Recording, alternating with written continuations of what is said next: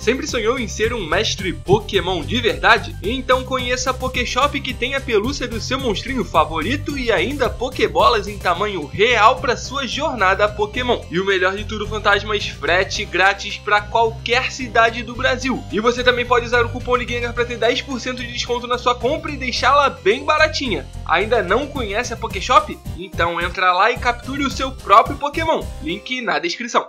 E aí fantasmas, sejam muito bem-vindos ao Ligengar e a mais um top 10 do canal, dessa vez dos melhores Pokémon do mundo do tipo grama. Semana passada fiz um vídeo parecido só que com monstrinhos de fogo e você pode escolher o tipo que farei na semana que vem. Basta comentar aí embaixo que o mais votado eu vou trazer pro canal. Promessa! Como essas listas são feitas com base no desempenho competitivo de cada Pokémon, eu pedi ajuda a dois verdadeiros mestres no jogo, o LJ Darkrai e o Lord Hack. O canal deles vai estar na descrição, então se quiser aprender sobre competitivo, sugiro fortemente que vá lá, se inscreva e acompanhe os vídeos deles. Aliás, foi confirmado ontem que o Campeonato Internacional da América Latina será organizado pela Copag parceira do canal, aqui no nosso Brasilzão, mais precisamente em São Paulo, entre os dias 20 e 23 de abril, tanto de videogame quanto de card game. Então, se quer aprender um pouco mais sobre o VGC, o LJ e o Hack podem te ajudar. Mas claro, deixe o seu joinha nesse vídeo aqui e inscreva-se no canal caso seja a sua primeira vez assistindo ao Gengar. Bom, então simbora para os 10 melhores ou mais fortes Pokémon do tipo grama de todos os tempos. E se quiser, já vai comentando os seus palpites aí embaixo. Quem sabe você não acerta, né? E como fiz na semana passada e gostei bastante, vou novamente começar pelas menções honrosas.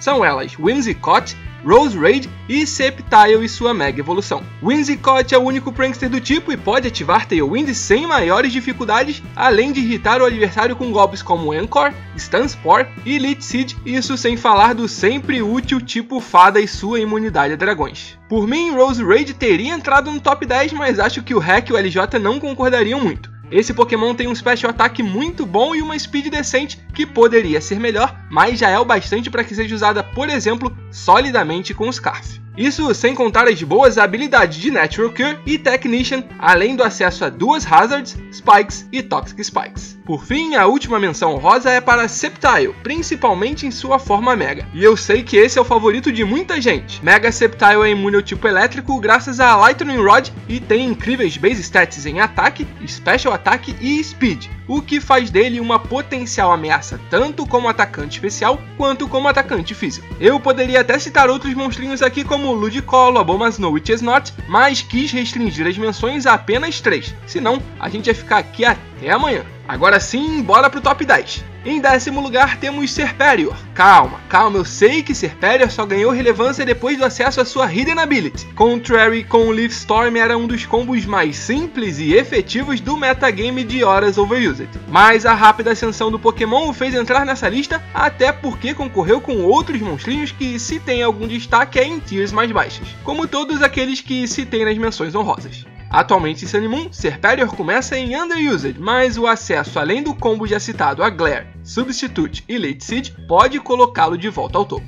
Em nono temos Tapu Bulo. Mal saiu Sunny e Bulo, assim como a maioria dos Tapos e Ultra Beasts, logo ganhou destaque competitivo. Sua habilidade capaz de bufar o poder de golpes do tipo grama, além de servir como regenerador de energia e enfraquecer ataques populares como Earthquake, vem muito bem a calhar. Ela transforma o Woodhammer ou Hornleech de Tapu Bulo em ataques bem complicados de serem parados e o próprio Pokémon em algo capaz de tancar vários hits.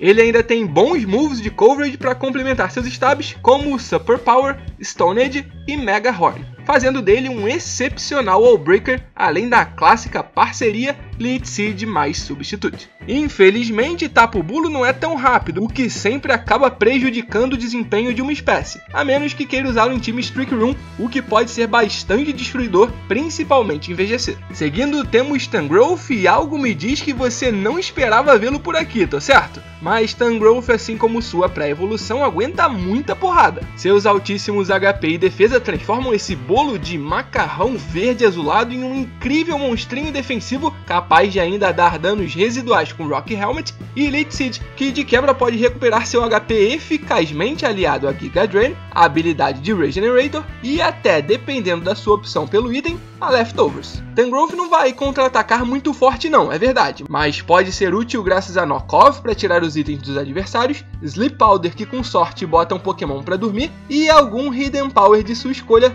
preferencialmente dos tipos Fogo ou Gelo. O sétimo colocado do top 10 é mais uma espécie vinda de Alola. Kartana, apesar de pequenininha, é muito violenta. Seja com Scarf ou Band, ela dá um trabalho incrível e, se protegida da forma correta, pode ser o seu late sweeper depois de uma kill e boost no próprio ataque. Ou até mesmo se você conseguir subir um Swords Dance após eliminar as possíveis ameaças de Kartana principalmente Celesteela, Skarmory e Landorus. São muito poucos os pokémons que resistem à tríade Leaf Blade, Sacred Sword e Smart Strike. Então, se você conseguir de alguma forma ter o controle da Speed, seja com um Stick Web ou Tailwind, Kartana tem ainda mais chances de varrer todo o time adversário. Principalmente, como eu disse, a partir do momento que conseguir seu primeiro nocaute e, consequentemente, o boost no ataque. Em sexto, temos Shame, muito provavelmente, se levássemos em conta apenas sua Skyform, Shaymin estaria mais bem posicionado nesse top 10. Por outro lado, caso fosse apenas a forma normal, então o Pokémon provavelmente cairia algumas posições. O primeiro é mais ofensivo e tem Serene Grace, que dobra as chances do efeito secundário dos golpes ser aplicado. Em outras palavras, isso quer dizer flints infinitos com Air Slash e drop de Special Defense com 80% de chance de ser causado pelo Seed Flare. Já o segundo tem como habilidade Natural Cure o que o permite usar Rest com certa tranquilidade sem se preocupar em ficar dormindo ou perder um slot com o Sleep Talk, já que assim que retornar para sua Pokébola, ele acordará. Ambos os Shamings ainda aprendem Earth Power para se livrar principalmente de Hitrans e são bastante úteis com Hidden Power Fire para poder intimidar Scissors, dois dos principais counters do Pokémon. Na metade da nossa lista está Celebi, provavelmente um dos Pokémon mais versáteis do tipo. Na Gen 3 ele brilhou com Combo Swords Dance e Baton Pass, e atualmente ele pode ser Wall, Sweeper, Cleric e muito dessa versatilidade vem dos golpes que aprende, como Hail Bell, Recover Thunder Wave, Stealth Rock, Perish Song, U-Turn, Baton Pass e tantos e tantos outros. Então, dependendo do que queira ou do que o seu time precise, pode ser ofensivo ou defensivo de forma igualmente eficaz. Na quarta colocação temos Brelon. Há quatro gerações que ele é overused de acordo com Smoggle, isso sem contar que na Gen 3 ele era BL, o que basicamente significa que só era utilizável na própria Tier Overused.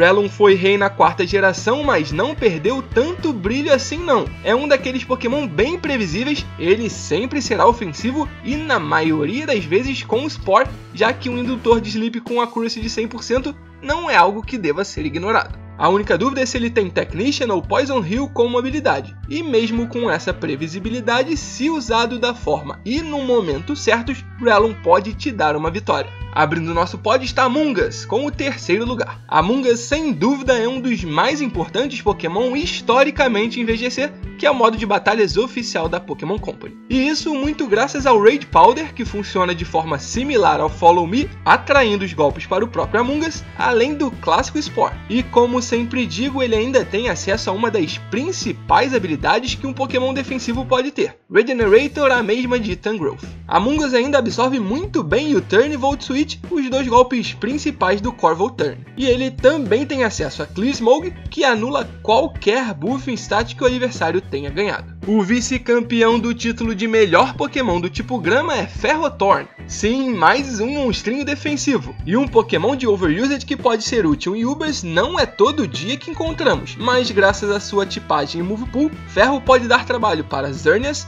Lugia e Kyogre. Desde a Gen 5 em Black e White, esse Pokémon nunca deixou o competitivo, sempre presente em um time aqui e outro ali, seja para setar Spikes ou para checar os dragões em Unova quando ainda não existiu o tipo Fada, ou ainda parar algumas Mega Evoluções na geração passada, como Mega Gyarados e Metagross. E finalmente o grande campeão, ou seria campeões no plural. Essa foi uma boa dica, hein? E aí, fantasmas, já sabem de quem tô falando? Do Pokémon que ficou em primeiro lugar no top 10 do tipo grama? Comenta rapidinho aí embaixo e vamos ver se você acerta. Já comentou? Então deixe-me anunciar que o primeiro lugar do ranking é... Tandanadan, Venusaur e Mega Venusaur. Esse é um dos poucos starters que se mantém pelo menos na tier Underused desde as primeiras gerações da franquia. Ao Mega evoluir, adquire a habilidade de Thick Fat, passando não mais a sofrer com duas de suas fraquezas, os tipos fogo e gelo. Suas boas defesas combinadas com seu ataque especial faz do Mega Venusaur um tanque muito efetivo, capaz de parar monstrinhos muito populares de Overused